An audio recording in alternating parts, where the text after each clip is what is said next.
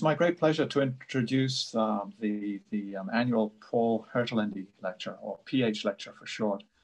Um, uh, Paul is actually um, uh, with us this, this, this evening, though he's not with us in, in as a physical presence, which he has done many times over the years.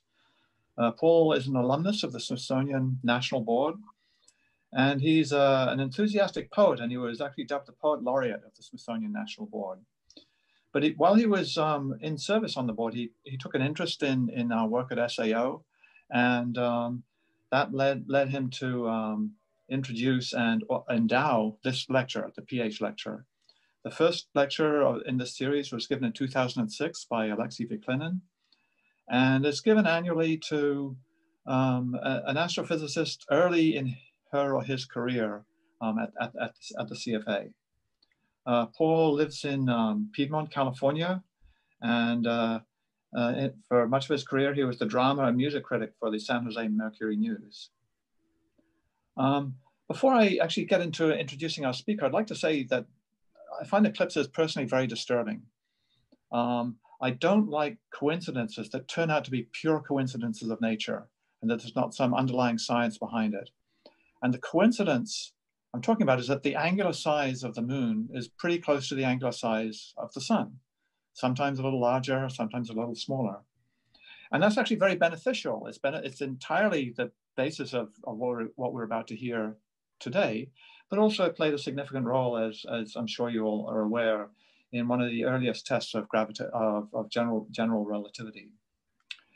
And when the Earth Moon system was, was, was established, the moon was actually much closer. There were no annular eclipses. Uh, the, the, the eclipses uh, actually were, were relatively brief, but there were much, much, uh, there was a much greater covering fraction. And furthermore, there's a limited future for eclipses, somewhere in the 600 to 700 million year range. The moon, which is slowly moving away from us at a few centimeters per year, will be too far away to have anything except for annular eclipses. So it's a pure coincidence that at the time humankind came into being, that we had these beautiful eclipses that made the corona available for people like uh, Jenna Samra. Uh, Jenna is um, an astrophysicist at the, at the, at the CFA on the SAO side. She was educated at Penn State and then uh, came to Harvard to the School of Engineering and Applied Sciences. And she actually came to us through one of our engineers, uh, Pete Cheimets, who she met while they were taking an, optic, an optics class at MIT. And that just led to a series of conversations, and she she was draw, drawn into um, the, the career that she's um, had at at, um, at, at the CFA. And uh, that's what she's going to be talking about today. She's talking about high altitude infrared observations of the solar corona. Jenna, you're on. Thank you so much, Charles. Um, before I start, I just want to I want to thank the, uh, the the committee and also um, Paul Hertelendy, of course, uh, for for giving me the opportunity to give this lecture. I'm really excited about it. Um, this was my uh, the, the first project in in in the program that I'm going to talk about was my PhD thesis, so it's near and dear to, to my heart. Um, and uh, I'll just point out that I was supposed to be giving this lecture from Boulder, Colorado, where we were going to be integrating onto the G5 um, airplane for our next eclipse observation. Uh, we're a bit late getting out there, so I've just put the picture in, in the background here. Um, okay, so uh, I'm gonna I'm gonna talk to you today about our um, high altitude infrared coronal instrumentation program. I'm going to start off talking about motivating the program, um, talking about magnetism in the corona and how we, particularly how we might how we might measure the, the magnetic field. Um, and then I'll spend a lot of time talking about uh, AIR-Spec, our magnetometry pathfinder. Um, this this um, this was the instrument that I mentioned that um, was originally my thesis project and then um, flew again in 2019, uh, and it's sort of the basis for everything that's that's coming after. Um, and I'll, I'll talk about you know the instrument itself, the the eclipse observations, and and the, the results that we've gotten from it. Uh, and then I'll go on to um, the outlook for our instrumentation program, um, both very very near term, you know next next month, uh, and and also in about the next five years. Um, so on the left here, uh, you see a picture of the the solar corona, the outer atmosphere of the sun. Um, there's a lot going on in this image. You can see that it's a composite. There's a white light image um, and super, that's an eclipse image actually, um, total eclipse. And then superimposed on that is an extreme ultraviolet image um, from, from a, a, spacecraft instrument. Uh, so the fact that um, the, the, the sun or the corona is emitting in the extreme ultraviolet. Those are emission lines that we see um, in the center. And also that there are free electrons that are scattering this white light at us from the photosphere. Um, that gives us a clue that, that the corona is, is actually uh, very hot. And, and, and of course, we know it's, it's around a million degrees um, or above a million degrees, uh, whereas the, the solar photosphere is, is only um, 6,000 Kelvin. Uh, so um, there are other features that we can see in the image. We can see that um, there's a lot of structure. I don't know, hopefully you can see my mouse. We see these um, long streamers, extended streamers, and, and also these um, loops here. And if we uh, zoom out, we we get another uh, another clue that the, the corona is not in equilibrium because it's extending so far from the surface of the sun. Uh, and in fact, if this were a live video, we could see that um, there's a dynamic event happening right here of coronal mass ejection being um, launched from, from the surface. Um, so uh, I do have a couple of videos of dynamic events in the corona. Um, so uh, on in the middle, we have a solar flare. This is um, energy released as light, as, as electromagnetic radiation. Um, and this is a particularly bright X-class flare. And then on the right, we have another coronal mass ejection so this is now energy propelling plasma uh, and, and, magnetic field away from the sun. Um, and of course, these can be earth effective and, and have uh, significant implications for technological societies. And so uh, it, uh, there's, a, there's an underlying kind of uh, feature under, under everything I've talked about here, the, the structure of the corona, um, the dynamics, and, and the heating, and that is the coronal magnetic field. Uh, so here's another another eclipse image. This is the 2017 eclipse um, right here in the center. Uh, this is a highly processed image, but it's it's it's real data um, taken from a, a ground-based team. And you can see in the processing, you can actually see the magnetic field lines um, or the plasma, uh, uh, you know, kind of tracing out the magnetic field lines here. Um, and in fact, uh, the um, uh, on, the left, we see a, a model of the magnetic field um, by predictive science, and we can see that it, it matches quite well. So um, just another another indication that the, uh, the, the, the, magnetic field is providing the structure here that we see um, in the corona. And um, so because it's so important, because it provides the, the, the structure and the, the energy for dynamic events, and also because the slow release of energy uh, is, is what, what heats the corona, although we don't exactly understand how the um, that happens. Uh, the magnetic field is clearly um, is clearly something we'd like to be able to measure in the corona. Uh, that would help us predict um, predict dynamic events like coronal mass ejections that might be earth effective. It would help us understand the heating problem. Um, it would just it would help us uh, it would give us a, a, deeper understanding of, of coronal physics if we could make these measurements to constrain our, our magnetic field models. Um, and so I'm going to talk today about um, one particular way of doing this and why it's so challenging and where we at SAO with our program fit into that. Uh, so the method I'm going to talk about is, um, is measuring emission line polarization, which can give you the line of sight magnetic field strength and the plane of sky field direction. Um, now, field strength measurements are really, really challenging. Uh, they've only been demonstrated a few times. Um, and uh, they they are challenging. You, it's going to become apparent why they're so challenging in the next few slides. But uh, the problem is essentially that the corona's, um, excuse me, is uh, is very very weak, um, and and therefore it's difficult to measure. The signals that we're looking for are just are are, are very weak. Um, now, uh, of course, uh, DKIST, the the Daniel K. Inouye Solar Telescope, uh, is coming online now on, um, on Maui. And two of its first light focal plane instruments will measure the magnetic field strength, um, but they're going to do it at very high spatial resolution, but over a relatively small field of view.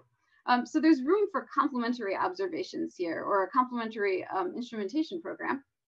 And, and that's what I'm going to talk about um, at SAO today. Uh, so our, our instrumentation program um, is, is going to provide, it's, it's going to be differentiated from, um, from, from DKIST and, and, and other uh, uh, observatories like that in, in three um, major ways. So first of all, it's at high altitude, which means we have reduced atmospheric scattering and, um, and reduced absorption because again, we're looking in the infrared. It's, it's going to be um, a large field of view as opposed to a, a, a small high resolution field of view. And so that gets at the global corona evolution. And finally, um, from high altitude, you can make continuous long duration um, uh, observations.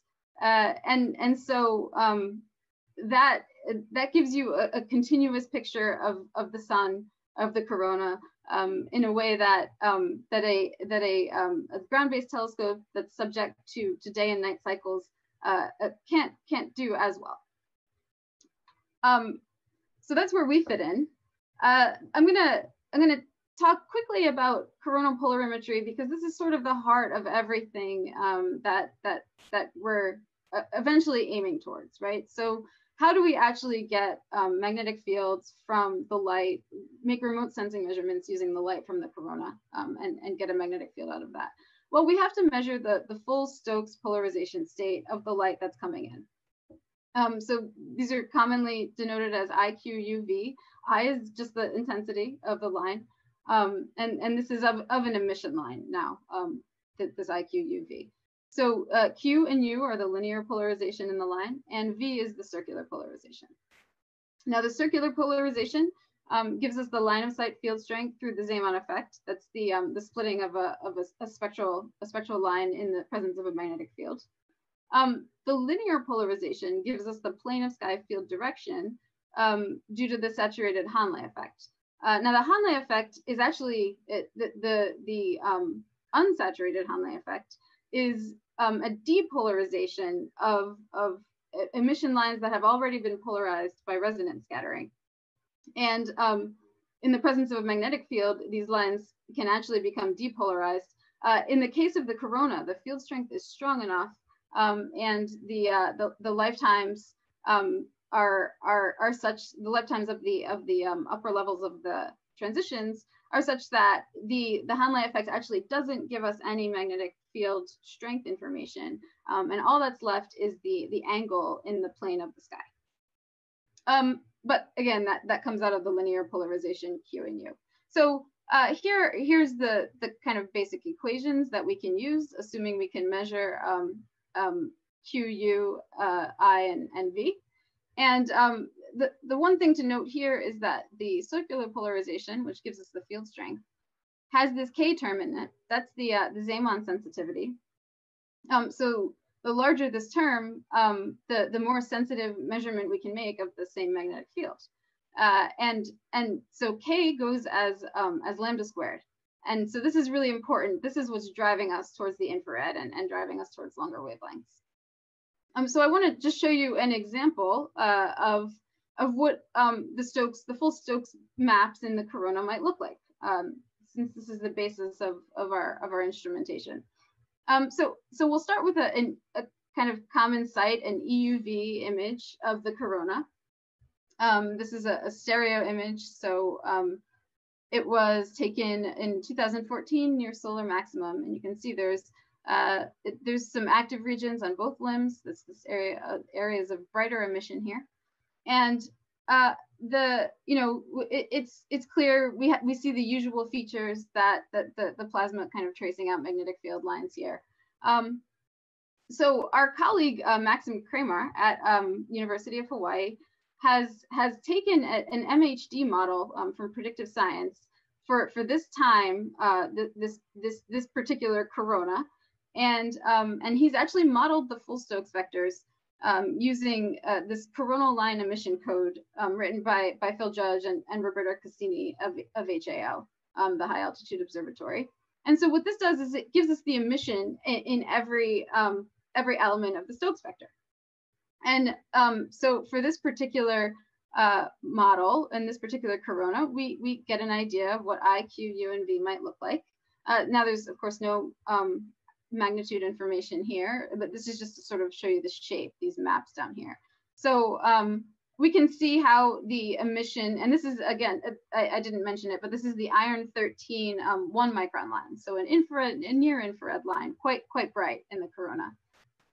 Um, we can see how the emission in iron 13 in this infrared line, it, it's pretty similar to the extreme ultraviolet emission here, which is at a, a similar temperature. Um, and we can see the, the, what kind of what we expect from from Q, U, and V, and and in particular that V is very strong, um, much stronger in the active regions than than elsewhere in the corona. And now if we if we just pick a pixel uh, in in each of these um, uh, maps and we plot it, these are these the, the, maps down here integrated over wavelength. But now if we plot the wavelength profiles, um, we see we see that we see the problem with making these measurements, right? We have um, uh, the, intensity of the emission line, which is um, in, in spectral radiance, the peak is around 15 times 10 to the um, 13 photons per second per centimeter squared steradian nanometer. Um, we see that Q and U are about uh, uh, uh, two orders of magnitude down from that. And, and we see that V is about, which gives us the, the, the field strength, again, the line field strength, um, is about four orders of magnitude um, uh, weaker than the emission line. And so this is what makes these measurements so challenging. Um, and uh, and and that's going to come into play when I when I talk, uh, especially towards the end of the talk, when we actually talk about designing an instrument to, to measure the magnetic field. Um, but first, I'd like to talk about the lines. Uh, what lines are we actually looking at to, to make these, these polarization measurements? Well, they're all magnetic dipole transitions. Um, because the corona is so hot, uh, the the, um, the electric dipole transitions have um, have have much shorter wavelengths in, in uh, for instance, the extreme ultraviolet. Um, so the infrared transitions that we're that we're looking for are in the um, are magnetic dipole transitions. And I have an example here from um, a, paper published by um, Benjamin Boe and, and Shadia Habbal. This is a, another 2017 ECLIPSE paper. They had these narrow band imagers which um, they they observed the corona with during the eclipse. And so uh, these were in um, two lines, a, a, a green and a, a, red or near infrared line, um, two, two um, ionization states of, of iron. Um, and you can see the different structures at different temperatures and kind of the, um, uh, the, the, the, the, power of having two different lines here to, to observe the corona. And so, of course, um, if you're just looking at line intensity uh, uh, in these lines, we can get um, plasma temperature from, from line ratios and, other, and other metrics. Um, we can get uh, density from line ratios and we can get um, line of sight and, and plane of sky velocity um, just from the intensity in the lines.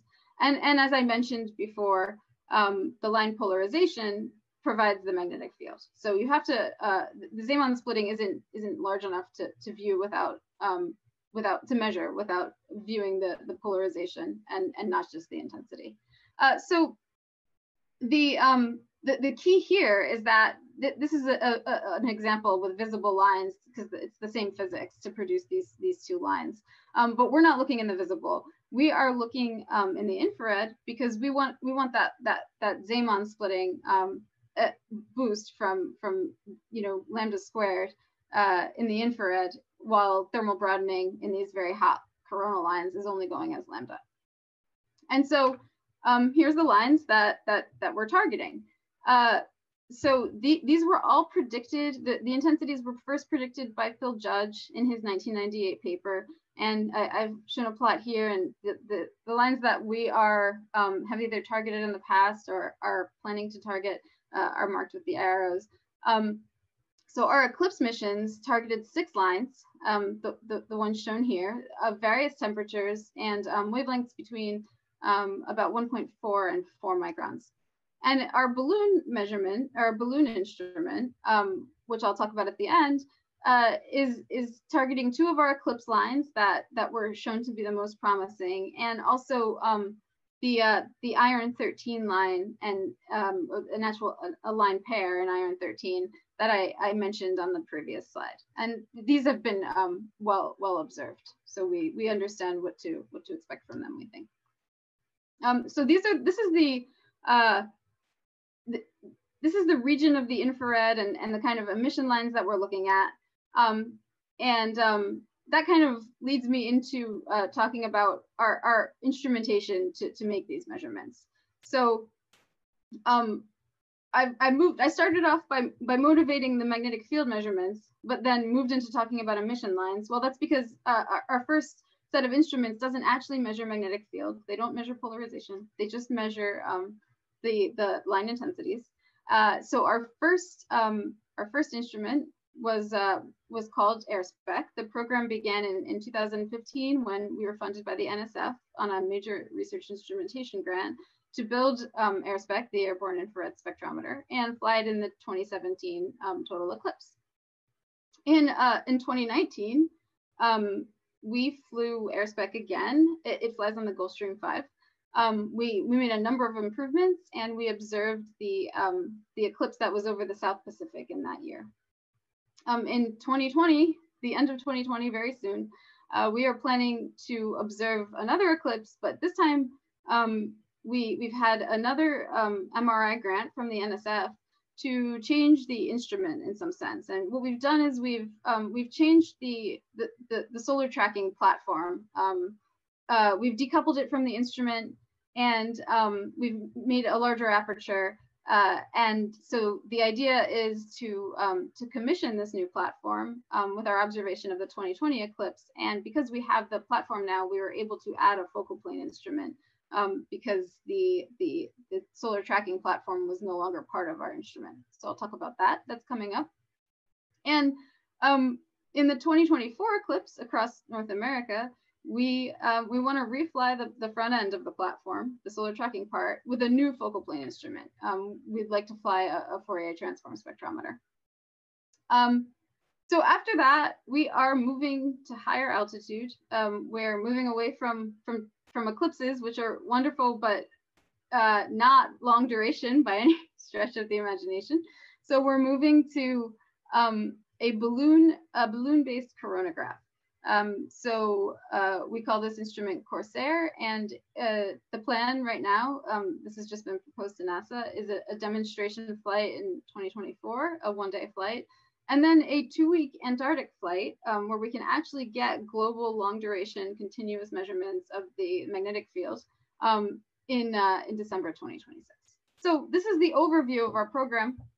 I'm going to spend most of uh, most of the time talking about the two AIR-Spec missions because those are the ones that have uh, happened successfully, and um, and then I'll uh, I'll go into some details on the other of the future projects.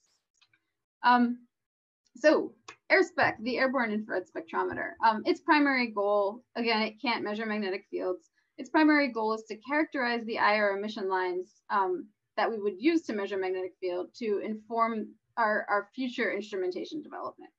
Uh, so this is a picture of, of AIR-Spec as it was in 2017. It's a really, um, it's a complicated instrument. There's a lot going on here. Um, because it's mounted on the airplane, it has a, an image stabilizing mirror here. This is electronically controlled. Um, the, uh, the, the bench that it's mounted on is isolated from vibration and it's um, translatable uh, um, forward and back and left and right so that you can catch the sun as it comes through this small window um, and you have this kind of soda straw problem uh, where you, um, as, as the sun changes angle, the beam actually moves where it hits on the bench. Um, so uh, the actual instrument itself is uh, is a telescope um, which focuses light onto onto two uh, cameras. There's a, a in in um, AIR-Spec we just had a, a context camera, white light context camera, which helped us do our tracking and and our pointing. Um, um most of the light went to that camera, a little bit of the light went into uh, went through the the entrance slit of the spectrometer and into um, our infrared spectrometer and um, it's a, a, pretty standard um, reflective IR spectrometer uh, with a, a, a, a, planar grating and um, spherical focus mirrors and spherical collimator. Um, the, the tricky part here was that we had to fit a, lot of, we wanted to survey a lot of uh, emission lines that were kind of far apart in wavelength. And so we we did some tricks with um, with with the light to um, to get them all into the, the same place on the detector. And so this is the, the detector layout. It's actually measuring in, in two channels and we use two orders of the grating um, to try to get all of these these lines between one and four microns um, in, in the same place in, in limited real estate on the detector. Um, so uh, I want to talk just quickly about the airborne platform. We couldn't we couldn't um, make these observations without the NSF's Gulfstream 5. It's operated by the National Center for Atmospheric Research, NCAR. Um, it's got about a 50,000 foot ceiling, uh, which is a bit higher than commercial. Uh, and um, it's it's uh, it's a it's a Gulfstream five, so it's typically a, a corporate jet. Um, that's what it would often be used for this plane. But this one, uh, they have they have outfitted it with special viewports. So um, we uh, for AIR-Spec we look out of a a small nine by six inch sapphire viewport um, that we can move to various places uh, depending on the angle of the sun. So um, we have it in a different location for each of the eclipses that we're planning to observe. So there's a picture of the, the Gulfstream in Lima um, during the last eclipse observation. Uh, here's another picture, the next, uh, the, the 2019 um, incarnation of AIR-Spec on the Gulfstream 5. You can see that we had to fly liquid nitrogen. Um, I'll talk about how long that, uh, that, that, that trip was and why we, why we needed to do that. Um, and finally, just a quick picture of installing AIR-Spec. You know, this this bench has to be broken into um, pieces so that we can actually get it on the plane and around the bend. Um, so this was a real, this was an engineering feat. Um, and the, the lead engineer on um, on these missions is, is Vanessa Marquez at, at SAO. Uh, so image stabilization was a really important um, uh, part of, of what we learned how to do on, on AIR-Spec. Um, uh, it's the, you know the airplane it's a smooth flight up there but um, when you're looking over such a small field of view um, if we had no stabilization we wouldn't be able to actually um, to, to get an image um, we wouldn't be able to stay pointed in, in one place on the sun uh, so this is our um, this is these are some some movies of the solar photosphere during some test flights the dark line in the center is the entrance slit to our spectrometer so all the light gets through that gets through there is our um, is our scientifically useful light, and um, and the the context images tell us where we're where we're pointing. Um, in 2017, uh, we didn't actually use these images to, to do any kind of um, tracking. So we didn't we didn't try to um, find the edge and track uh, because we couldn't test that ahead of time on an eclipse, and we wanted to make sure that there were no surprises when we, um, when we, after doing months of test flights, when we flew the eclipse flight, we wanted it to operate just the same way. Uh, so we used a gyroscope to um, to figure out what the plane was doing and to to figure out how to move our mirror to compensate for that. Um, now in 2019, we added um, we added feedback tracking on the image, and you can see that it it, it made the observe the um the observations much more much more stable. Uh, and I'll, I'll I'll show some more quantitative um uh, information on that a little later. Um, so AIR-Spec observed two uh two eclipses so far. In 2017, we observed the U.S. eclipse uh, over Kentucky. We were based in Chattanooga, Tennessee. It was a pretty quick um, few hour flight. Which was just a warm up for the um, the marathon flight we took in 2019, where we um, we were based in Lima, Peru. Uh, the eclipse did cross land, or, or totality crossed land um, in Chile and Argentina, but the, it was quite short there. It was a um, close to sunset, and um, we observed at local noon where we got a much longer eclipse, but we had to be over um, the middle of the Pacific uh, more than 2,000 miles from land. So um, so we we we made plans and and uh, the the uh, the National Center for Atmospheric Research really um, helped us uh, uh, basically achieve this this observation. Um, so the plan was that we would take off from Lima, Peru. Um, we'd fly six hours out to the observation point, filling with liquid nitrogen all the way um, to keep our, our instrument uh, nice and cold and get it to equilibrium. And um, then at that point, we'd observe the eclipse. Um, and when it was over, we um, we we would land in um, on Rapa Nui in Easter Island uh, and and spend a day there because um, for crew rest issues and uh, and and also because we didn't we didn't want to um, we, we either couldn't or it would have really limited our ceiling to carry enough fuel to get back to lima peru Um, so we actually we actually got a trip to, to Easter Island in 2019.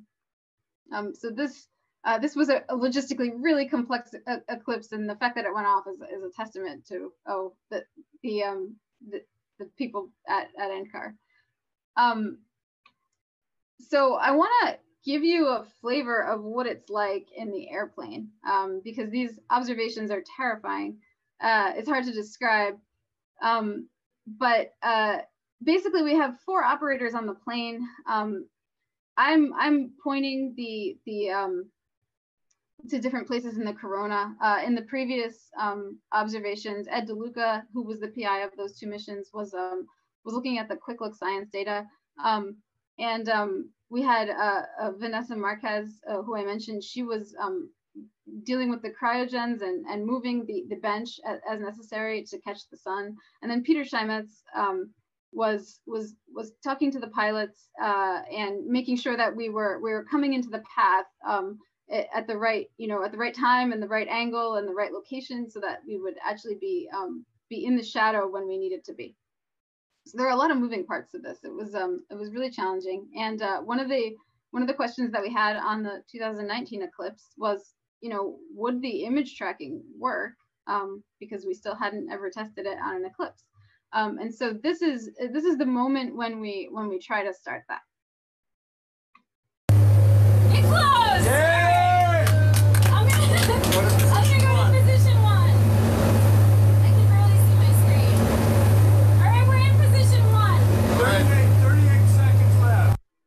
Okay, so um, so we were very happy because uh, we were able to um, to to get the sun to to snap to the center of the screen, and uh, that meant that our, our, our tracking was going to work. Um, and we um, we we did the rest of of the observation, moving to different positions. This was just the first one of of um, of five or six uh, in in the corona on on um, on both the the east and west limbs of the sun. Um, and so the uh, this is the now we go back to the 2017 observation. Um, these are the the slit positions on the on the right here um, where we where we spent most of our time. Uh, the uh, I show the map on the left just because it was um, just to just to kind of emphasize the, the the, sheer panic that it was as we were coming into the um, into the path here and then uh, had to do all these calibrations and and lost the pointing and got the pointing back and didn't know what we were gonna um, be doing at the time that you know the shadow passed over us and uh, you're kind of on this train that you can't get off at that point um, and and finally um, you know we, we were pointed at the sun everything was okay the shadow um, the totality passed us uh, or, or or went overhead um, but uh, we couldn't see anything in our quick look data. So um, it turned out that we got really nice results from this eclipse, and I'll show them in a little bit. But um, this kind of half hour stretch here is uh, it, it, can be pretty terrifying. And so in the um, the 2019 eclipse, we had um, a more more we had a longer eclipse, but we also had a more mature operations plan,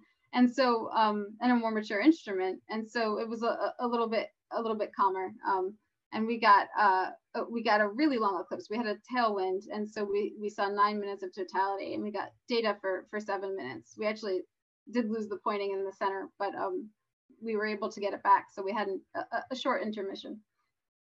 Um, so in, in, 2019, we spent most of our time. It was a very quiet corona. Um, it, it was uh, really close to solar minimum, if not solar minimum. Um, so we spent most of our time where, where the emission would be brightest on the east and west limbs. Um, so we, we have, um, uh, uh I'm going to show some data in particular from this position five on the east limb in, in a little bit. Um, I want to talk quickly about the improvements that we made. Uh, one of the major improvements to um, the instrument in 2019 versus 2017 was reducing the thermal background to get um, to get these high sensitivity measurements uh, so this was a collaborative effort with the camera manufacturer. They had to basically redesign um, their, their, their infrared camera uh, so that um, it, things would be kind of cold and, and dark enough, and there were no light leaks uh, for us to get the long exposure times that we needed. Um, in order to do this, we we actually cut off um, our, our four micron line to reduce the thermal emission um, that that comes uh, between three and four microns. Um, so so that was a that was a loss, but uh, but but well worth it for the the observations that we got. We also had a, a, much much reduced background structure. So the the um, the spectra, which which you'll see um, in in a couple of slides, were just much easier to to process in in 20 in 2019. Um, and then the other major improvement was to the to the stability. So I showed you the movies, but um, after after co-aligning uh, the observations along the slit, uh, this is this is kind of the if we look at um, any one um, pointing uh, and then plot out all of the slit positions, uh, you can see that the jitter was much worse in in 2017. It couldn't be co-aligned, um, whereas in uh, across the slit here, uh, in 2019, um, it, it was it was it was much much better. And so um, the, the, the co-alignment along the slit actually um, basically gave us um, positions that were we, stayed pointed at, at, one spot in the corona. In, in 2017, we couldn't say much about the precise location where we were pointed because because of the jitter. Um, so this was this is now something that we're building on in our um, Aspire image stabilization system. Uh, and we also um, removed a couple of artifacts, which I which I, I am not going to go into, but um, it was a much better instrument in 2019. Um, so uh, here's an example of our spectra. This is what the 2019 spectra look like. We have uh, I mentioned we have two channels. Um, the um, the left hand uh, short wavelength channel here actually has um, overlap. It has uh, light coming from three microns and uh, around 1.4 microns. It's using two orders on the on the grating. And um, and then we have this this longer wavelength channel here. And these channels were selected to, to capture as many um, lines in a small amount of, of space as, as possible. Um, so uh, in, in 2019, AIR-Spec measured four lines. Um, so the these two were uh, were first detected by AIR-Spec. They're absorbed, fully absorbed from the ground, and um, so they're not they're not they're not possible to see. Um, and uh, the the the IR9 line here we actually um, detected in 2017. We were pretty sure, but uh, we needed the more sensitive observation to to um, be certain. Uh, and then th this line here, the sulfur 11 line, is actually part of a density sensitive line pair. Um, so this allows us to do a remote sensing measurement of density in the corona, and we adjusted our passband to get this line for, for this reason. Um, so uh, I'm going to show some density measurements in, in a little bit. Um, now, fitting the spectra, uh, you can see there's a lot of atmospheric absorption in them. We needed an atmospheric model to, um, to take that into account. Um, and uh, we basically kind of lumped everything into a, um, into a model here uh, to get the fits that we got. So, you know, it's the, it's the atmospheric spectrum, it's the, the solar continuum, um, the coronal continuum of scattered light, um, the instrument line shape, and then of course the, the emission lines themselves. Uh, and, and once you do that, you can get um, quite a nice fit uh, as shown in the, in the colors here. Um, and uh, so, so doing kind of a, a careful job here allows us to get the really accurate intensities, line intensities, that we need to do um, to do density and, and eventually temperature measurements. Um, and so, uh, so now I'll, talk, uh, I'll just give an overview of kind of the science results that we can get out of, out of AIR-Spec itself, even though it can't measure magnetic field. Um, so uh, one thing we can do is we can um, measure the atomic processes in the, in the lines, so in the excitation processes. Um, the extreme ultraviolet lines are, are, are arise from from collisions in the corona, um, whereas the the visible lines and the infrared lines um, have contributions from um, from resonance scattering because of the, um, the the the the light in the underlying photosphere. And so um, one thing we can do is just look at the fall off. This was something we did early on in 2017, and uh, and compare, um, you know, the the um, the fall off as you go away from the limb of the sun uh, to, to something like um, AIA, um, an extreme ultraviolet imager.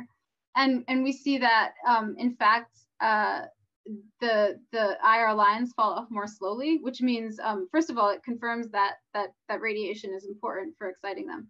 Um, but the second thing is that it means that they're going to be a more sensitive diagnostic further from the limb than the EUV lines. So that's going to be powerful um, in, in, in, the future. Uh, and here um, we actually could do a more quantitative uh, assessment by, by doing an absolute radiometric calibration. And we find that um, this is a graph from a, a, paper that, that Chad Madsen published uh, in 2019. We find that, uh, in fact, um, the, the models um, are, are we, can differentiate between models uh, using our, our, our AIR-Spec data, um, which is which is pretty cool. Um, so the model data here comes from from Giulio Del, Giulio Del Zanna at um, at University of Cambridge.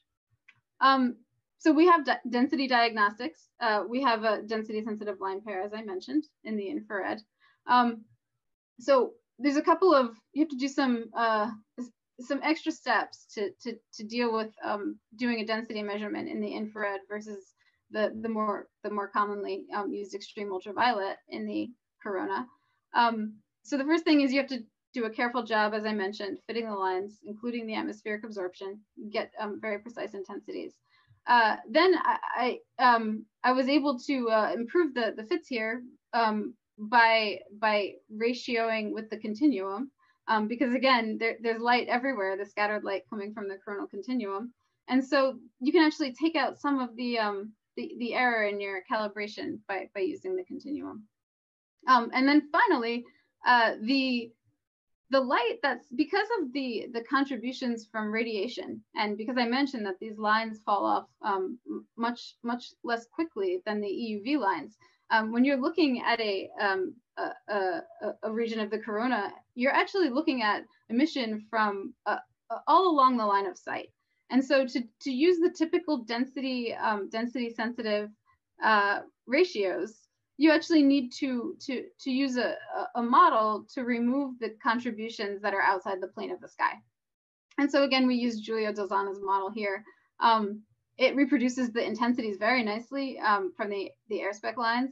And then um, uh, the, um, the, the density that's retrieved is, is also, um, is also a, a good match. And, and in fact, also matches a totally independent eclipse um, density uh, measurement from from the high altitude observatory. They observed the uh, the the the, uh, the, the, eclipse in, in Chile in 2019. Um, so this work is ongoing and and it's looking promising. Um, so these are just some some early results. Um, even earlier, uh, I just wanted to point out that we do have some temperature sensitivity in these lines. Um, the the uh the, the lines shown here i'm just i'm just trying to highlight that in different regions of the corona um we see that our our hotter line is is either stronger or weaker compared to um to one of our cooler lines. And it turns out that those appear to to sort of coincide if you look at uh, aia data with with where we would expect um hotter or cooler plasma from the, the different temperature channels of AIA. So I think that um, when we continue to do to do some temperature analysis, uh, we're gonna we're gonna get some nice results here as well. Um, and finally, in, in in 2017, we did do uh, uh, we tried to look at um, measuring coronal temperature with AIR-Spec. We had kind of limited data, uh, but we did have um, coordinated observations from the extreme ultraviolet imaging spectrometer. And so um, my colleague Chad Madsen did a, a had a, a, really nice um, uh, a, a, really nice paper here that uh, he was able to make these beautiful now these are extreme ultraviolet not infrared um, but density and temperature maps of the um, the 2017 uh, eclipse corona. And so um, so of course this is a, more mature uh, processing than, than than doing it in the infrared but um, the, uh, the there's clearly there's clearly much to be learned here um, with coordinated observations. So infrared observations get you um, higher sensitivity further from the limb. Uh, extreme ultraviolet observations um, can be easier to, to interpret in some in some cases because of uh, because they're only collisionally excited.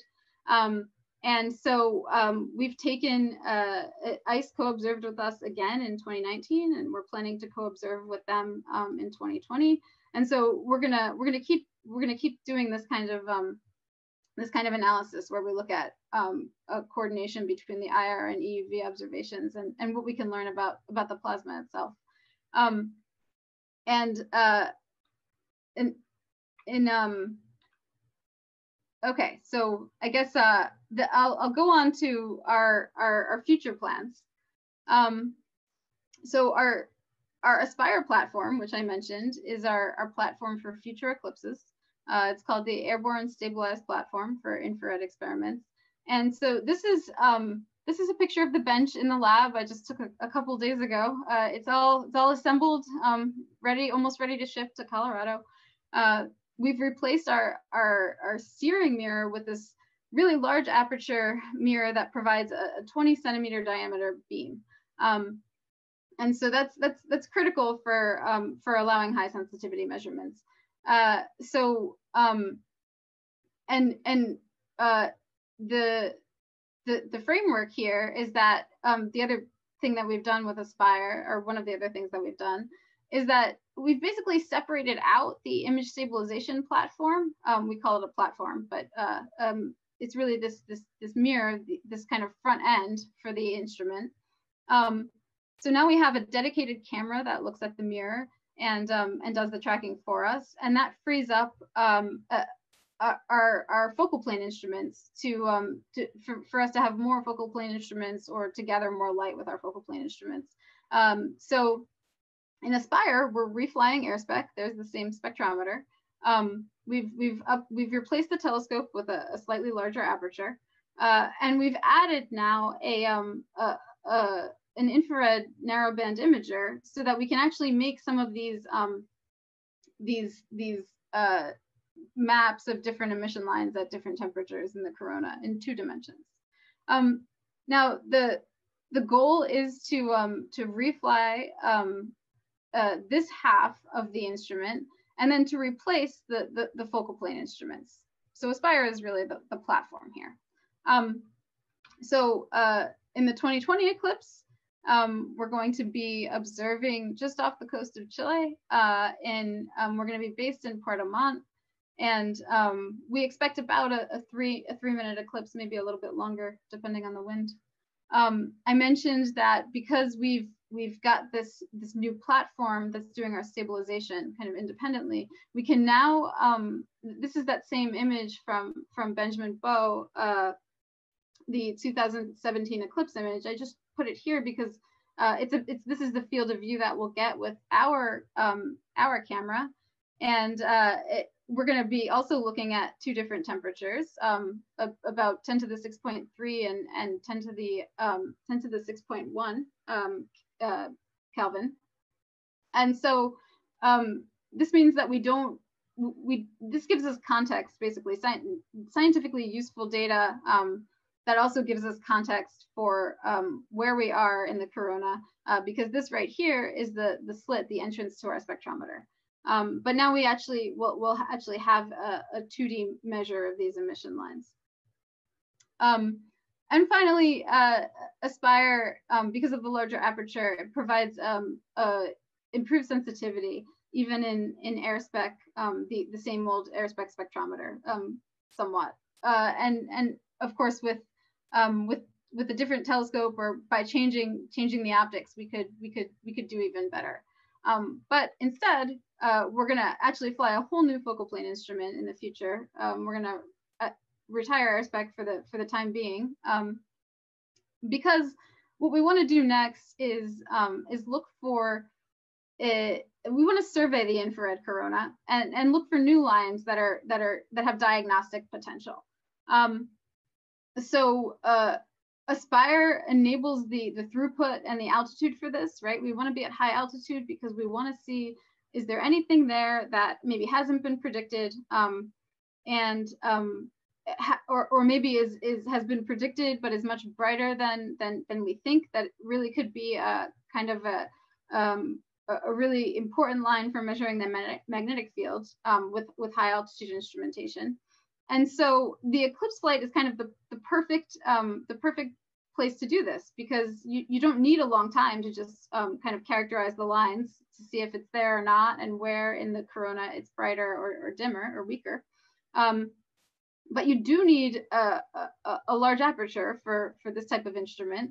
And so now we, we have that. Um, and um, you do need a large spectral range uh, and you need it to be continuous, unlike AIR-Spec. Um, and so that's why we're going for a, a Fourier transform spectrometer. so this is going to be another MRI proposal that we submit to the NSF in January. Um, and right now, it's not entirely um, fleshed out, but we're thinking that we we one one option is to buy a commercial Fourier transform spectrometer, um, put a 2D detector on it, put imaging optics on it, uh, relatively low resolution, and um, also uh, probably we're going to need to add cryogenic cooling to it. Um, it. Alternately, we alternatively we could we could build something um, from scratch in, in house. So we're still we're still thinking through through those options, um, and the proposals due um, in the end of January. Um, so after uh, the 2024 eclipse, we are um, we're moving away from eclipses. Uh, we've just proposed for a balloon-borne coronagraph um, from for for uh, this is a NASA proposal that we put in earlier this month. Uh, this is this instrument is called Corsair, um, the coronal spectropolarimeter for airborne infrared research. So this instrument actually makes the um, the, the, measurements of the, the full Stokes vector uh, that I that I motivated the whole talk with um, way back uh, 40 minutes ago. Um, so this this is actually going to measure magnetic field. Um, now here's a, a, a, model of the um, of the instrument inside the uh, the truss structure that mounts to the balloon gondola. Um, the the plan for us is to do a, um, a one day commissioning flight in September 2024. We would do that in the US. And then um, in uh, 2026, we could um, launch from Antarctica, get into the, the, the polar vortex there. And um, we're hoping, or we believe that we can, we can be up for um, aloft for 10 days to two weeks, uh, which, which is a, a really um, wonderful test case for these these long duration um, global measurements of, of the, the coronal magnetic field. Um, so this is this is a pathfinder for space. Uh, now Corsair, I'm going to go into a little bit on the instrument, but it, it measures five infrared lines. Um, so we can do all of the the plasma measurements just with the intensities, um, density, temperature, velocity, uh, and then because it measures polarization, we can get our magnetic field measurements. So um, this is what the Corsair um, data looks like. It's uh, it's a multi-slit spectrometer. So in order to um, to get uh, spatial coverage without the slow process of rastering the slit, we have um, we have many slits uh, which are um, which each which each give us a a, a, a measure of, of an emission line in that particular location of the corona. So we're sort of we've got a, a spectral spatial mixing here, but um, we've spaced them so that there's no overlap um, be between slits or, or, or minimal. Um, so the, the instrument itself is, is pretty complex. Um, the, the trick here was that we had these five uh, target lines that were um, over, again, a long wavelength range. And so in order to, to measure them with, with similar sensitivity, um, of course, your grating is, is your diffraction grating is very dependent on, on wavelength, the efficiency of it. Um, so in order to measure these five lines with similar sensitivity and also similar um, resolving power, uh, we, we use the grating in multiple orders. Um, we also designed a polarimeter that would have high efficiency um, in, in, in, multiple orders at just our particular five wavelengths. Uh, so the polarimeter is um, a, a, linear polarizer and a rotating wave plate. Um, the spectrometer is a, this is the, the grating here, and these are just lenses. Um, and then we have uh, an, an, infrared camera that'll be right here. Um, now, the, uh, the, the coronagraph itself, which feeds the whole instrument, is um, is a lens uh, that that reduces the, the instrumental scatter compared to using a mirror. Um, so this is a, um, a meniscus lens out here made of zinc selenide. Uh, focuses down onto an occulter, which is which is right here. Um, and um, the the engineering on this one is I, I just want to show this just to just to show kind of how how um, complicated a, an engineering project this was as well. Um, so there are a lot of mechanisms because we're um, we're working with refractive optics now. Uh, the um, the lenses all have to move when we go from one line to another. Um, we have to dump the heat from the um, the, the the disk of the sun. Uh, we have to um, actually roll the whole instrument because the pointing system on the balloon only is, is an azimuth elevation pointing system. And so over the course of the day, the, the solar image rolls. So we have to take that out. Um, and of course, we just have the, uh, the, you know, the challenges of mounting um, this kind of structure, heavy, uh, large structure to, to the balloon gondola. Um, uh, but so I wanted to end on this because because we did uh, kind of a careful job modeling um, what we expected to see from Corsair uh, for the proposal, and I think it, it came out pretty pretty nicely, and, and I wanted to I wanted to share this. So if you remember back um, a few a few slides ago at the beginning, I showed these um, these pictures uh, of of Stokes IQ U and V, and um, they were kind of idealized. Uh, so now if we if we take those maps and we run them through our instrument, um, so they're distorted, and then we um, kind of re, you know, do some geometric correction to get rid of the distortion, and then we add noise, um, and then we actually try to retrieve the magnetic field uh, using the equations that I showed in that earlier slide. Uh, these are the results that we get. Um, so, uh, you know, there's a, a, couple things to see here. We have we have two emission lines um, that that I'm showing and and they give really complementary information. Um, the uh, the iron the iron line down here is a, a, much brighter line and gives better information um, on on velocities and and the plane of sky angle. Um, but that that high um, Zeeman sensitivity of the of the long wavelength silicon line, this is a, a, four micron line, whereas this is a one micron line, um, really gives you a, um, a, a, precise measurement of the um, of the, the line of sight magnetic field. It, it, that's what we expect at least um, in these simulations. And and the two lines, because they're different temperatures, there you can see they're also kind of probing different coronal structures if, if you look carefully at this. Um, and so uh, so th this was pretty exciting to see that in a, in a, in an hour um, we could get a, um, a, a pretty precise measurement of of the magnetic field in this active region over here um, using our, our Corsair balloon. Uh, and and so on the on the right here, I've just this is just the un, the uncertainty in the measurements, and you can see that um, in the active region it, it's quite low in the one hour measurement. It's just on the order of a, of a few Gauss. Um, so I uh, I I that's all I have to say about um about our program. But um, I want to thank you again for the opportunity and um, I have to thank a lot of people who uh, who who have been involved in in one or or, or many of these projects, um, and their their names are here. Um, and uh, and I'll take questions. Thank you.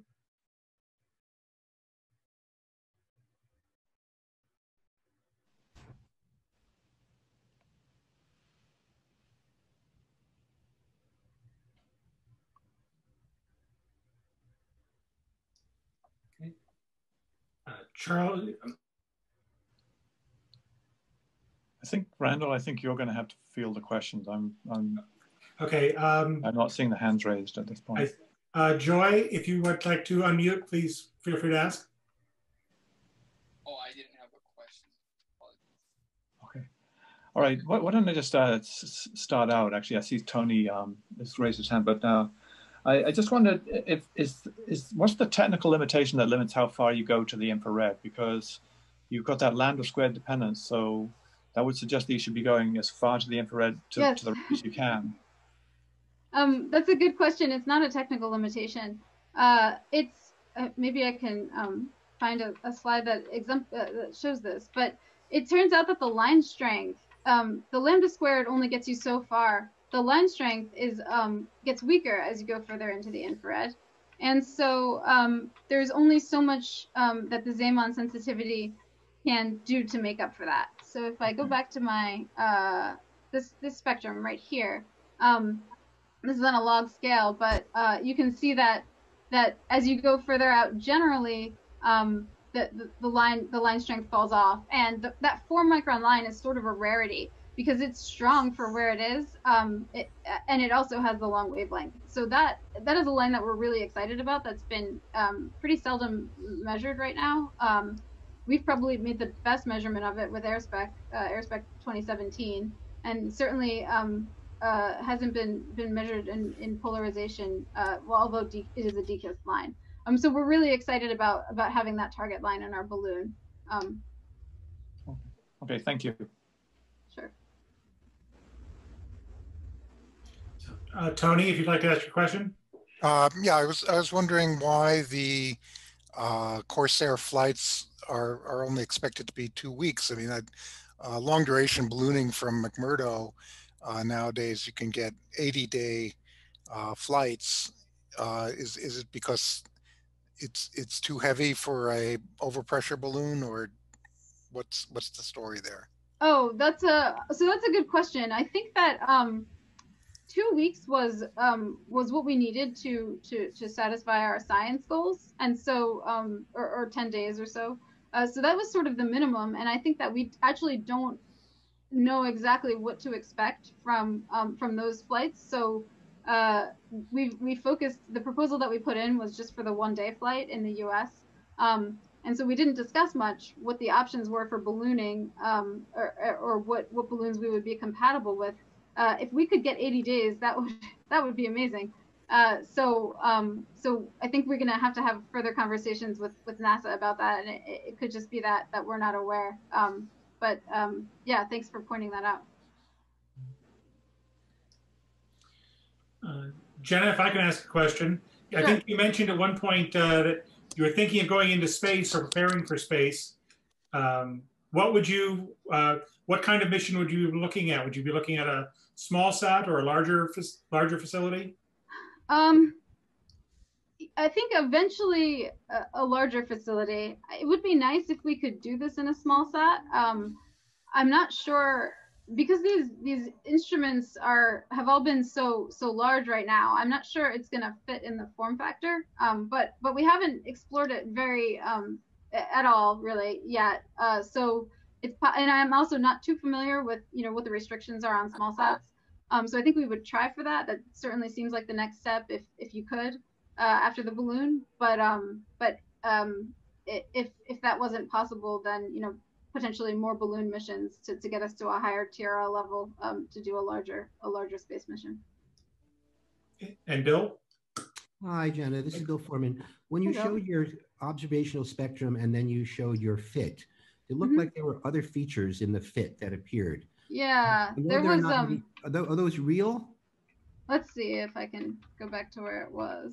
Um, so it's the end of this slide. Yeah. So are you talking about um?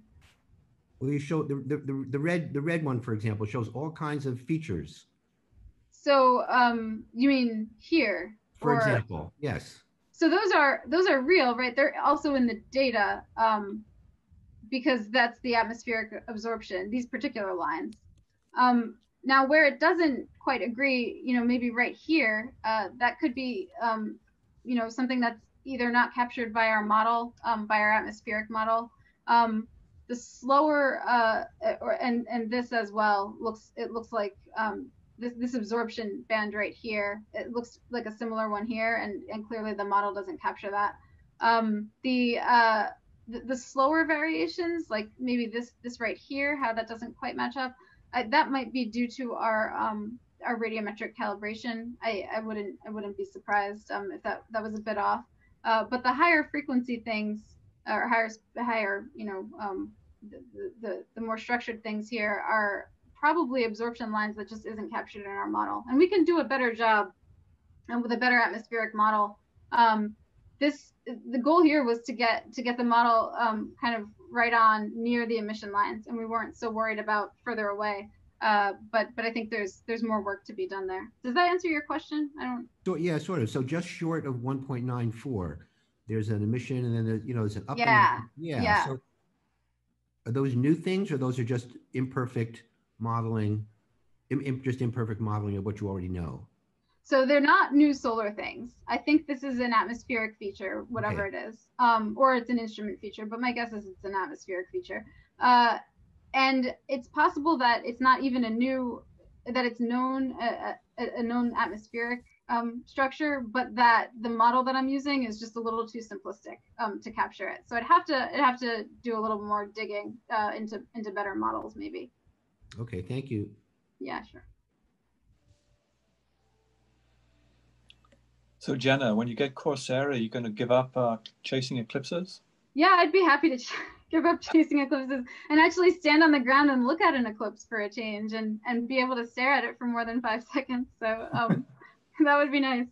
Yeah, I think the goal, uh, um, more seriously, the eclipses were never uh, um, going to be the, the main event here. They were always a stepping stone to, to something to something um, more long long long term.